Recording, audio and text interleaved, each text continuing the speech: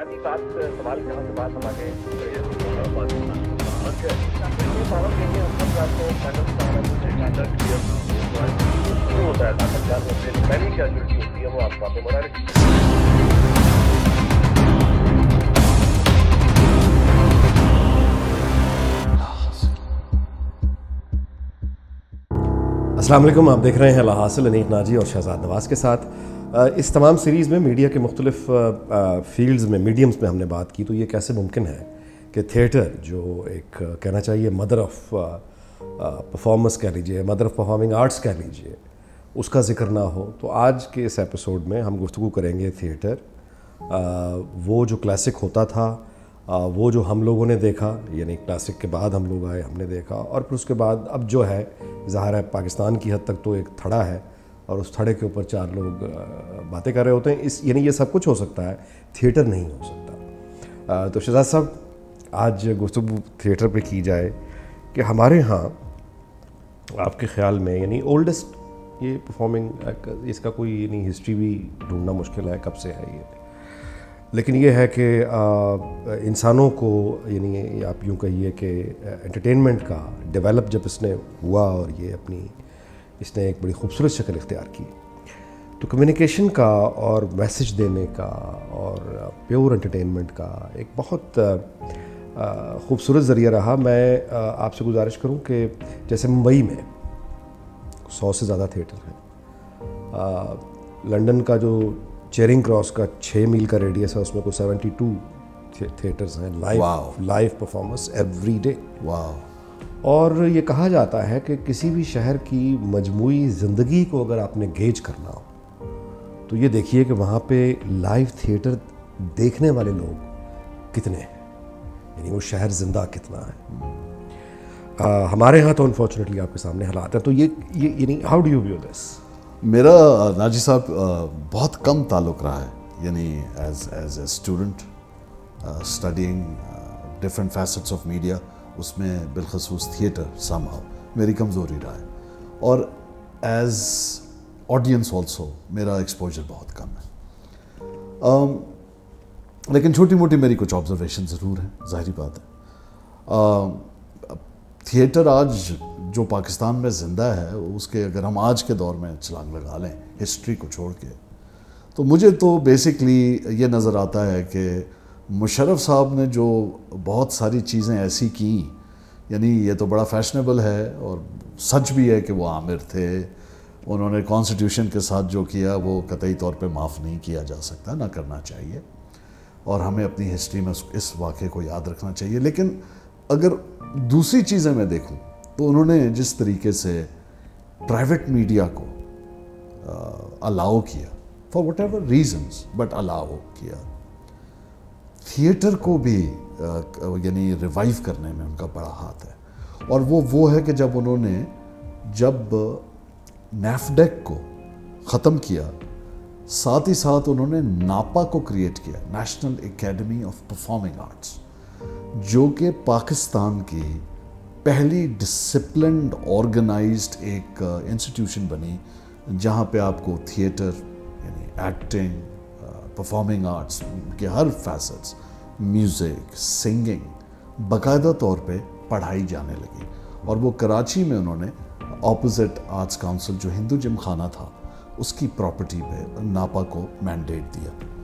और वो चलता रहा और आज भी चल रहा है। तो ये बहुत बड़ी उनकी कंट्रीब्यूशन है। तो एक तो हमें सीरियस क्लासिकल ट्रेडिशनल थिएटर पढ़ाने वाले, पढ़ने वाले और बहुत कमाल के वहाँ के ग्रेजुएट्स हैं, जो नापा के एक्टर्स हैं।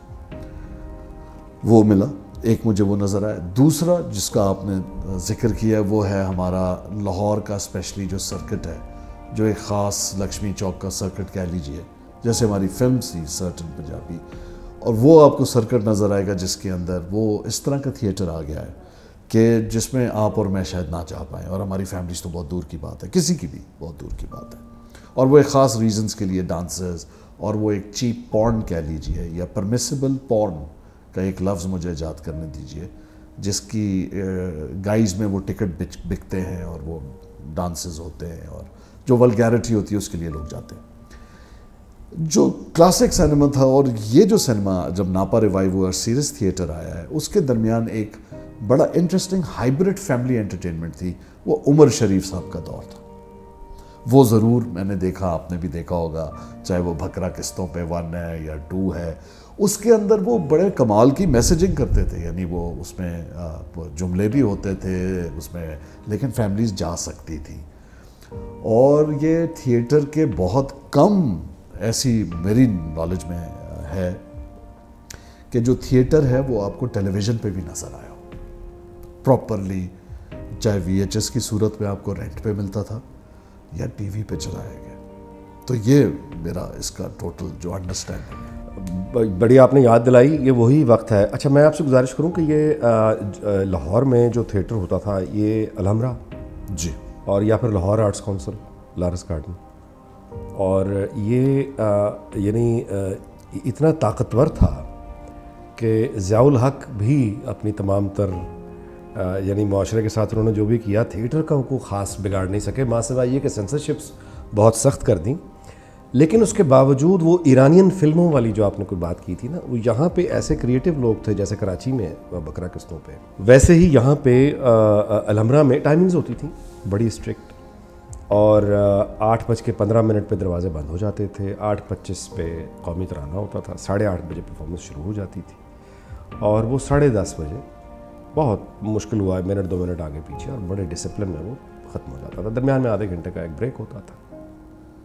मैंने जो अपना कैरियर शुरू किया था वो एक एक लाहौर का ही एक थिएटर था। उसका नाम था कमरा नंबर 302 अच्छा।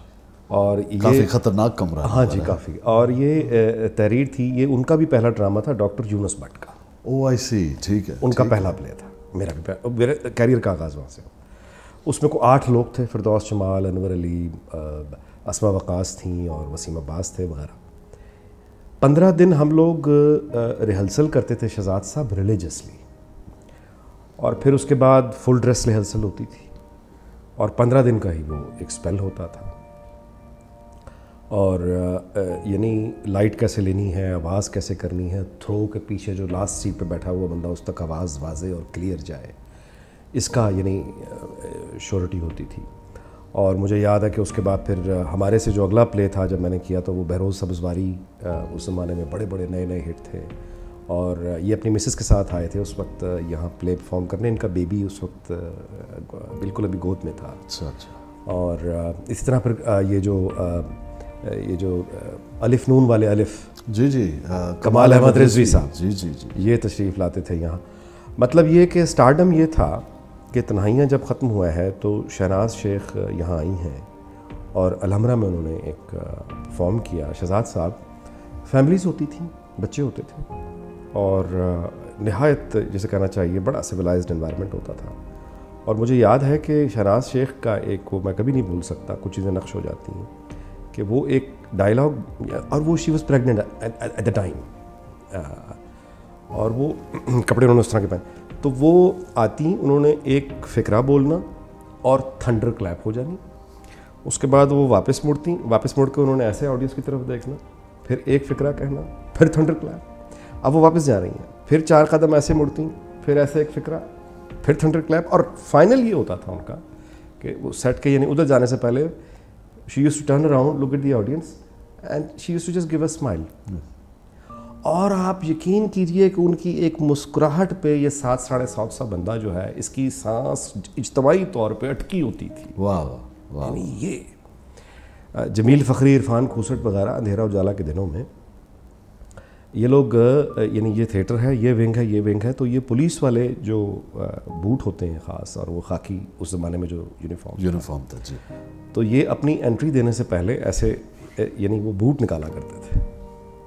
और लोग तालियाँ बजाना वाह उनको पता होता था कि एंट्री होगी शहजाद साहब ज़िंदगी का जो अनफॉर्गेटेबल एक्सपीरियंस किसी एक्टर को हो सकता है वो ये है कि वो उस ऑडियंस के सामने जब आप परफॉर्म कर रहे होते हैं उस वक्त जो आपको रैपिड इंस्टेंट वो मिलता है ना रिएक्शन एक तो वो सांस अटकी होती है आदमी की।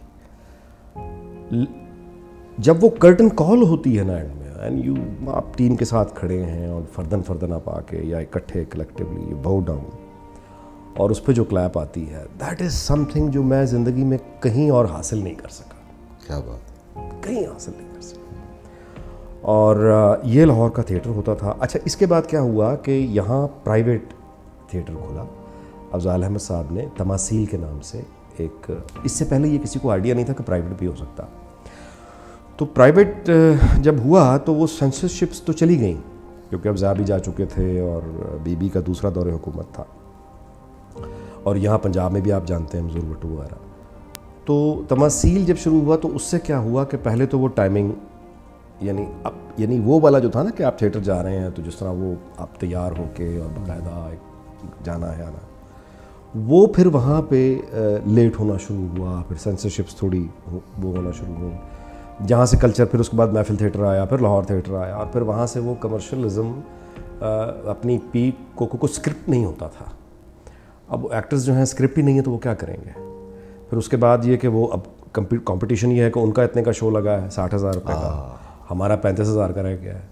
अब हमने साठ हज़ार की सेल कैसे करनी है? तो वहाँ पर फिर ये वाले मामला शुरू हुए। ये एकदम नहीं हुआ ग्रेजुअली हुआ। बिल्कुल बिल्कुल बिल्कुल। और वो ग्रेजुअली जब होना शुरू हुआ तो जितने भी कल्चर्ड लोग थे जितने भी पढ़े लिखे मिसाल के तौर पर बहुत कम लोग जानते हैं खालिद अब्बास डार एक नहायत पढ़ा लिखा आदमी है गवर्नमेंट कॉलेज के। हैं लेकिन उन्होंने खुद को अडॉप्ट करते करते अब ऐसी जगह पहुँच गए हैं कि शायद वो अब मतलब हाँ जी। तो ये इस तरह से करते करते वो नीचे हुआ। अफजाल अहमद का नाम हमेशा इसलिए रहना चाहिए पाकिस्तान में थिएटर का क्योंकि ये पहले थे जिन्होंने एक्सपेरिमेंट किए।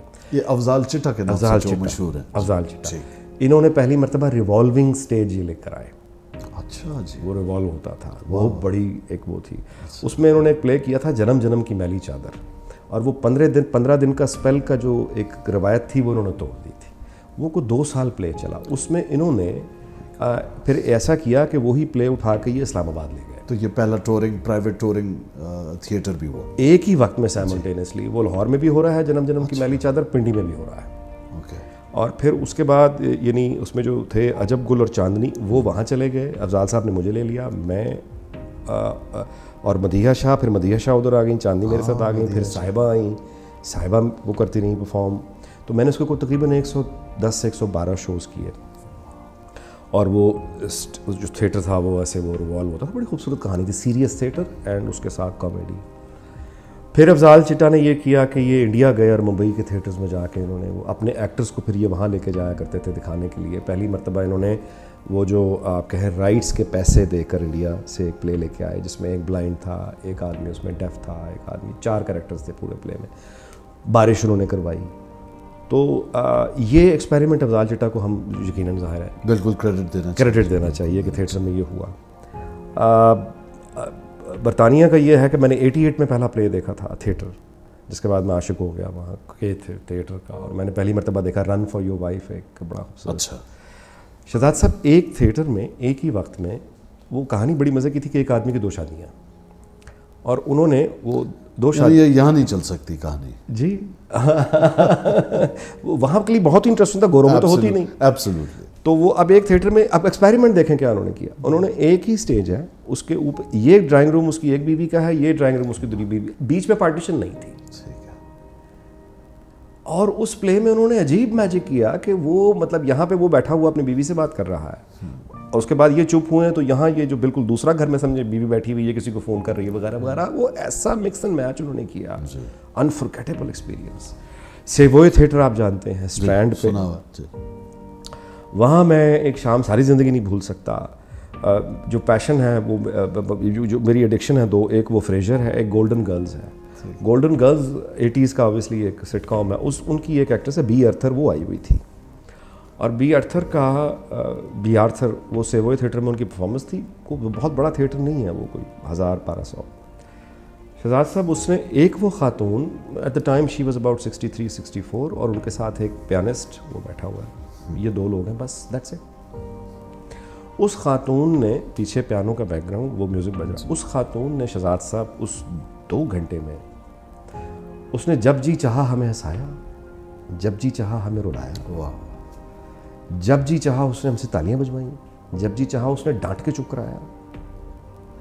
मतलब मैं आपको बता नहीं सकता कि वो क्या उसने एक जादू किया उसके शहर में मैं आया कि वन मैन शो होता क्या है? शकील साहब से कहा कि इस तरह का आप एक मैं देख कर आ रहा हूँ तो आप ये करें। दो चार साल के बाद जब यहाँ आया शकील साहब से कहा। शकील साहब ने कहा कि अब मुझे यहाँ से आगे आपकी ज़रूरत होगी मदद की। उन्होंने कहा कि बात यह है कि आइडिया तो आपका अच्छा है। आइडिया मेरा मुकम्मल ये था बेसिकली मैं ये कह रहा था कि हमारे पास अनफॉर्चुनेटली पाकिस्तान में कोई इतना बड़ा सेलिब्रिटी नहीं है कि वो बैठकर हमें अपनी यादें बताए दो ढाई घंटे क्योंकि उसने जो बताया था वो उसकी ज़िंदगी की बातें थी। ठीक है। अपनी पर्सनल गपशप अब इतना बड़ा बड़ा सेलिब्रिटी पाकिस्तान के पास है ही नहीं कि लोग उसके लिए कोई दस पाँच हज़ार का टिकट खर्च के आएँ और उसकी बातें सुने। तो मैंने उनसे कहा अमिताभ बच्चन को बुला लें। अमिताभ बच्चन अगर आ गया और वो लाइव बैठ जाए और एक आप उसके साथ पियानिस्ट बिठा दें और वो बैठ के कैजुअल बताया कि शोले जब हो रही थी तो क्या हुआ, दीवार जब हो रही थी तो क्या हुआ, सिलसिला में मतलब उसके पास हज़ार वाक़ आते सुनाने के लिए। शकील साहब ने कहा कि आइडिया तो आपका अच्छा है। मैंने एक दफ़ा सोनू निगम को बुलाया था कराची में। जी जी। आगे फिर आप बता दें क्या? वो मैं इस पर ज़रूर बात करूँगा लेकिन आप ये देखें जो आप बात कर रहे हैं थिएटर की। और सर फिर मुझे मुकम्मल ये मैं ये फिर ये जो आइडिया था कि एक आदमी हो और ऑडियो वो फिर आइडिया को जब आप बुचर करते हैं ना जी मैनेज करते हैं तो उसका बेड़ा गर्क हो जाता है। वो आइडिया लेकर पता है इन्होंने क्या किया? इन्होंने फिर मुश्ताक अहमद यूसी साहब को बिठा दिया। जी हाँ। और फिर अब जो मुस्तस मुस्तनसर हुसैन तारर साहब को यूज़ कर रहे हैं वो फिर उन्होंने शुरू कर कर दिया। अब वो, वो अदीब हैं। वो सेलिब्रिटी नहीं है। अच्छा एक जियो में होता था स्पेशल प्रोजेक्ट्स जिसमें अदनान अवान साहब अदनान अवान साहब कोई कहा जो हेड थे। जी जी जी। तो मुझे तो ये बैकग्राउंड नहीं पता था मैं छोड़ चुका था तो मेरे पास एक ये डीवीडी लेके आया एक फ़िल्म की। उसका नाम था लेनी वो एक शोमैन था जो स्टूल पर बैठ के ऑडियंस से अकेले बात करता था। तो मुझे उन्होंने दिया तो मैंने वो और उनके असिस्टेंट शम्स काजमी मेरे पास जी, जी, कराची में। तो मैंने कहा ये मुझे क्या किस लिए दे रहे हैं? बोला हम एक ये शो डिज़ाइन कर रहे हैं और हम चाहते हैं आप इसको आप इसमें होस्ट करें। ये आप स्क्रिप्टेड होगा। अच्छा वैसे शहजाद साहब यू आर द बेस्ट कहना चाहिए the talent for theatre and specially for these kind of well you know and it I am amazed and shocked कि आपने कभी उस तरफ़ तवज्जो नहीं अच्छा वो शो भी नहीं हुआ जैसे मैंने इस प्रोग्राम के इंट्रो में आपको बताया था इस शो के अलावा ज़्यादातर शो मार दिए गए। तो वो लेनी आई थिंक फिर उसी से इंस्पायर हुआ होगा इस सारे कॉन्सेप्ट से कि वो बात फिर होते होते डिस्टिल्ट होके अपनी यानी अफोर्डेबल बिगड़ते- बिगड़ते- अफोर्डेबल डुएबल तो फिर वो लेनी और उसके अंदर भी वो वो एक कैरेक्टर था जो ऑडियंस के आगे बैठ जाता था स्पॉटलाइट उस पर होती थी और वो बात करता था और म्यूज़िक होता था। And this is it was supposed to be scripted anyways उसके बड़ा स्ट्रॉन्ग स्क्रिप्ट होता है जी आप ये जो बात कर रहे थे ये मुझे ये ख्याल आ रहा था कि लाहौर ने जब पेट्रनेज की आर्ट्स की वैसे तो वो जैसे कहते हैं कि माजरत के साथ कि समंदर किनारे तजारत और कारोबार दरिया किनारे तहजीब और तमद्दन वाह वाह वाह तो वाह वाह वाह तो हिस्टोरिकली मुझे इजाज़त दे मैं हाथ मिलाऊं आपसे इस बात पे। ये अब कोविड में हम मिला सकते हैं। आखिरी स्टेजेस पे हमारे खान साहब ने इस पे काबू पा लिया खास आप पे नहीं काबू पाया जा सका। कोविड चलिए चलिए अच्छा। ये मैं आपको छेड़ने के लिए आपको पता ना करता हूँ। तो इवन उमर शरीफ को अपना थिएटर एंड प्रोडक्शन उठा के लाहौर लाना पड़ा। डिस्पाइट द फैक्ट कि उनके कराची में क्योंकि देखें वहाँ पे कोई अलहमरा टाइप का तो कोई ऑडिटोरियम था ही नहीं। बहुत बड़ा फ़र्क है। कराची में जितना थिएटर होता था वो होता था सिनेमा हॉल्स में। सर ये सलाम है मोइन अख्तर को सलाम है उमर शरीफ जैसे लोगों को जो जी। जी। तो ये सिनेमा हॉल्स में वहाँ होता था। अलहमरा वाला काम नहीं था। ये तो ये माइक लगाते थे ना। जी जी जी। बहुत बाद में जाकर आर्ट्स काउंसिल ऑफ़ पाकिस्तान का कस्टम पर्पस बिल्ड जैसे अलहमरा है प्रॉपर अकूस्टिक्स के साथ। एक ऑडिटोरियम बना जो कि 2000 के अ, 2004 या 5 में इनाग्रेट हुआ। और हाल ये था कि कोई प्ले नहीं था। तो उसको पहली बार इस्तेमाल मैंने किया। अच्छा। और मेरी फ़िल्म जो दूसरी फ़िल्म थी बोतल गली उसका प्रीमियर वहाँ पे हुआ। अच्छा अच्छा अच्छा। क्योंकि अगेन वहाँ पे कोई ऐसा अच्छी क्वालिटी का सिनेमा नहीं था जहाँ प्रिपेयर जहाँ प्रीमियर किया जा सकता फ़िल्म का। ये मुझे बड़ा इंटरेस्टिंग लगा कि Lahore has always you know been trying to champion culture as part of its tradition ये उसकी मतलब उसकी हवा में रचा हुआ है आर्ट कल्चर तो कोई इन्होंने एफर्ट नहीं किया। कराची में ये सिनेमा हॉल्स में अनफॉर्चुनेटली होता था। तो अब आप समझ सकते हैं कि वो जो स्टेज की डेप्थ के इश्यूज़ थे, वगैरह वगैरह, वो थे अकूस्टिक्स के जैसे आपने कहा माइक लगाना पड़ा। उसके बाद एक और बड़ी इंटरेस्टिंग चीज़ हुई कि जब भी अच्छा थिएटर लिखा गया लोगों ने देखा है। बहुत मैं आपको मिसाल देता हूँ अनवर मकसूद कभी कभी लिख लेते हैं। पौने चौदह अगस्त साढ़े चौदह अगस्त वगैरह वगैरह। उनके टिकट्स नहीं मिलते। क्या बात है। तो वो व्यू मतलब वो ऑडियंस आज ऑडियंस है है। ऑडियंस है। प्रॉब्लम क्या हुई?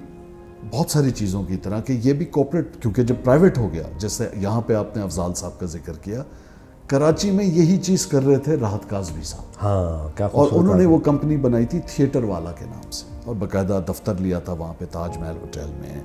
एंड दी आइडिया वाज कि हम प्राइवेट प्रोडक्शंस करेंगे। वहाँ पे एक और साहब थे फुरकान हैदर मरहूम साहब और एक थे उनके पार्टनर शनाज शेख नाम था उनका। प्रोड्यूसर थे मर्द थे।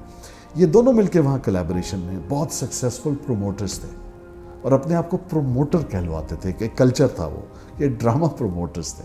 और ये बहुत सारे ड्रामा क्रिएट करते थे और बहुत सारा। तो एक बहुत बड़ा ये दौर आया कि जो हमारे सेलिब्रिटीज़ थे वो थिएटर के थे।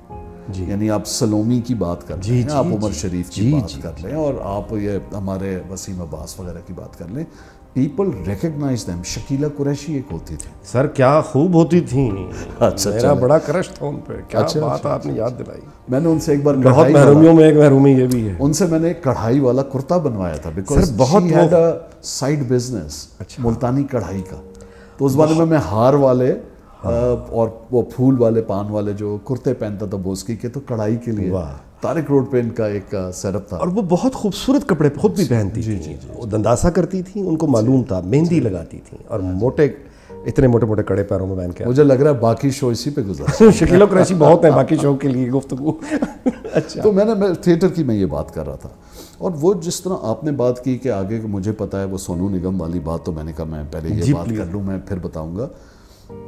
देखिए हुआ ये कि हो तो ये डी क्रिक क्लब में था तो बड़ा सिक्योर इन्वायरमेंट था। आ, बहुत बड़ा इवेंट था। लेकिन एक वहाँ पे एक होटल होता था कार्ल्टन होटल जो कि उस ज़माने में हमारे जो मुशरफ साहब का कज़न था अदनान। उनका लास्ट नेम मैं बोल। रहा हूँ इलेक्शन भी लड़े थे इंडिपेंडेंट वो हार गए। Nice man he had rights of management to Carlton hotel at that time तो वहाँ तक गाड़ियाँ रुक रुक के जा रही थी यानी जो कराची के लोग हैं वो जानते हैं।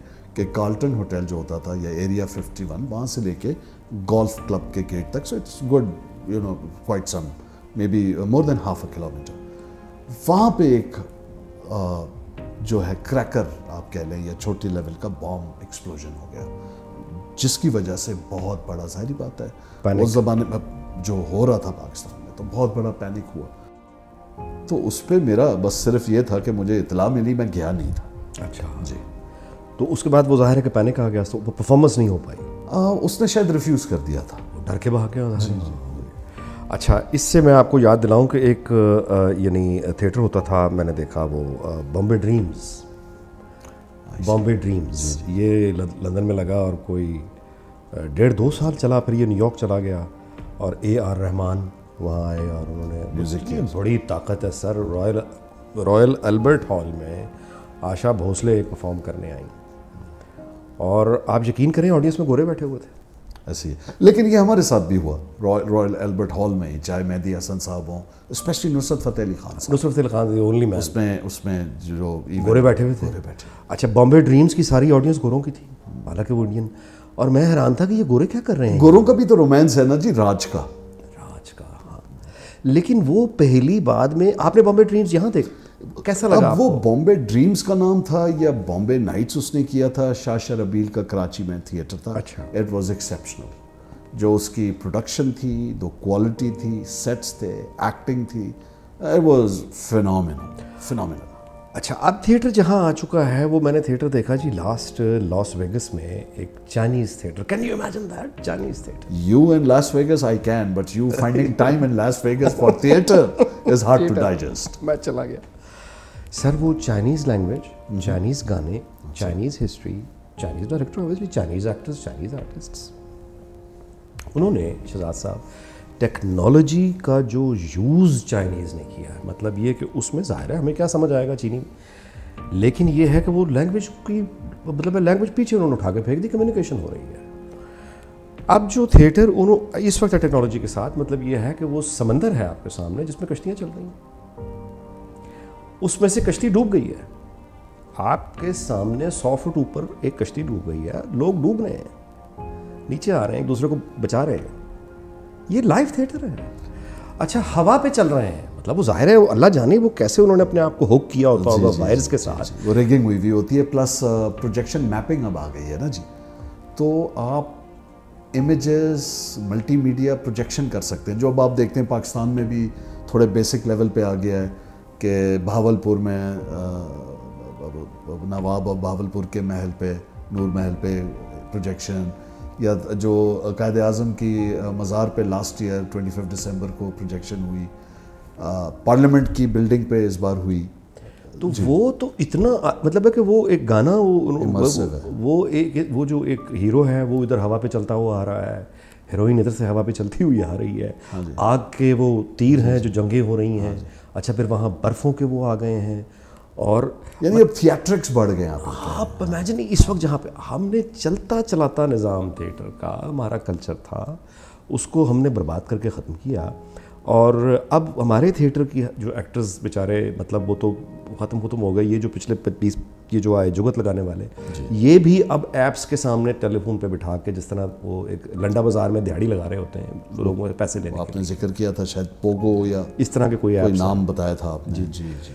तो अगेन वही वाली बात कि एक पूरी यानी इतना बड़ा एक सेक्टर है जो थिएटर से जुड़ा हुआ है अगर इसको हम प्रमोट करते और मुझे बहुत ही दुख है कि इस वक्त हमारा जो बच्चा 24, 25, 26 साल तक का भी है यानी नब्बे के बाद जो पैदा हुआ है जिसको होश संभाली 2000 आ चुका था 10 साल का हुआ उसको मालूम ही नहीं है कि थिएटर क्या आर्ट अप्रिसिएशन का तो वैसे ही फुकदान है ना जी। उसको पता ही स्कूल में आर्ट उस तरह नहीं पढ़ाई जाती परफॉर्मिंग आर्ट्स को हम अमूमी तौर पर बुरी नगाह से देखते हैं कि जब मैंने आपसे ज़िक्र किया कि NAPA became the first organised institution जो ये डिसमिनेट कर रही थी नॉलेज और एजुकेशन मुझे बचपन में अच्छी तरह याद है एक एकेडमी होती थी कराची में उसका नाम था घनश्याम एकेडमी अच्छा। वो मियाँ बीवी थे तारा घनश्याम थी और क्या वो डांस और म्यूज़िक वगैरह। तो जब भुट्टो साहब की गवर्नमेंट हम बहुत छोटे थे सारी बात। है तो हमें पता लगा they migrated from Pakistan because उस यानी वो आपके फेवरेट आ गए थे जब तक। और उन्होंने वो सफोकेशन महसूस की भुट्टो साहब के गवर्नमेंट टॉपल होने के बाद एंड दे लेफ़्ट उससे पहले घनश्याम अकेडमी में यानी, बहुत पढ़ा लिखा तबका जाता था म्यूज़िक सीखने आर्ट सीखने and it was the only thriving institute other than regular education extra curricular activities education में परफॉर्मिंग आर्ट्स में कंशाम academy I think was one of the only one जैसे आज लाहौर में अगर हम देखते हैं तो वो जो एक Sanjan Nagar academy of music है। जो काजिम रज़ा साहब चलाते हैं नूरी जो है बैंड उनके नाना। और उसमें वो म्यूज़िक की ट्रेनिंग आज भी हो रही है। और अब लेकिन अगर आप देखें तो अहमद शाह जब से बार बार जीतते आए हैं और अब कमिश्नर कराची प्रेसिडेंट नहीं रहे बल्कि प्रेसिडेंट अब इलेक्टेड है आर्ट्स काउंसिल ऑफ़ पाकिस्तान का इन्होंने जो नई एक्सपेंशन की और जो थिएटर्स और मज़ीद ऐड किए हैं स्टूडियोज़ ऐड किए हैं वो मुझे ये उम्मीद दे रहा है कि नहीं पैफेस्तर है शजर से लगे रहो होगा। ये मुझे नज़र आ रहा है इस वक्त क्योंकि उन्होंने बहुत ज़्यादा इन्वेस्टमेंट की है। बल्कि अहमद शाह के बारे में तो हम एक दिन मैंने उनको बहुत मुबारक दी वो इतनी बार जीत गए। तो मैंने कहा कि वो आप मुझे अपनी रोनुमाई की तकरीब पे कब बुला रहे हैं? तो वो बड़े हैरान हुए उन्होंने पूछा कौन सी? मैंने कहा आपके मुजस्मे की। कहते हैं मेरा तो कोई मुजस्मा नहीं है। मैंने कहा टेक्निकली अब बनता है क्योंकि आप तो जाने वाले नहीं हैं आर्ट्स काउंसिल से. But that was said in a lighter vein but वो मुझे रिवाइवल नज़र आ रहा है। सिर्फ़ ये है कि जो राइटर्स हैं उनको ये जो प्ले राइट्स हैं यानी मेरे नाना Chaudhry Rehmat Ali Khan was a playwright dramatist थे आगा हशर के कंटेम्प्रेरी थे। अच्छा। मॉडर्न उर्दू लिटरेचर में उनका काफ़ी ज़िक्र है। उनके ड्रामे बदकिस्मती है कि मैं खुद नहीं पढ़ पाया अपने नाना के ड्रामे। बट एक वो जो रिवाज था ये ख़त्म हो रहा है। तो हमें मेरा ख्याल अगेन जहाँ मजबूरी में कहना पड़ता है जैसे सैलाब आए बिजली का बिल रिकवर करना हो लॉ एंड ऑर्डर की सिचुएशन हो जलजला हो कुछ भी हो हमें फ़ौज को हर बार पे हम कहते हैं जी फौज आ जाए फौज ये कर दे। वैसे हमें डेमोक्रेसी डेमोक्रेसी चाहिए। मुझे अनफॉर्चुनेटली ये कहना पड़ेगा कि जी काश ये गवर्नमेंट जो है इसकी कुछ पेट्रनेज करे बिकॉज़ आप वाली बात के जब उसको कमर्शियल एंटरप्राइज ने लिया तो कंसिडरेशन स्पॉन्सरशिप्स और कमर्शियल वाइबिलिटी हो गई। और लिहाजा दुनिया में कहीं भी देखा जाए बल्कि ये तो आमरीत में होता रहा है यानी इस इस इस मुराद हाकमियत है। यानी जितने मुग़ल कोर्ट्स देख लें ऑटोमन कोर्ट्स देख लें जितनी बादशाहतें थी यूरोप में देख लें जो बादशाह होते थे ये तो वो तक आर्ट को फॉस्टर करते थे। Music culture arts artist writers ये थी जी कुछ यादें कुछ बातें थिएटर के हवाले से। यादें बातें कम इसी में कुछ मातम भी था कि वो सारा का सारा दौर चला गया और अनफॉर्चुनेटली हमारे यहाँ थिएटर नहीं ग्रो कर सका और जो कि बहुत ज़रूरी होता है एक मेच्योर आर्टिस्ट प्रोड्यूस करने के लिए। थिएटर से बड़ा कोई इंस्टीट्यूशन नहीं है जो आपको मज़बूत बना सके या खड़े होकर बात कैसे करनी है बहरहाल प्रोग्राम का वक्त यहाँ ख़त्म हुआ, इंशाल्लाह फिर मुलाकात होगी। देखते रहिए हासिल यूट्यूब पर।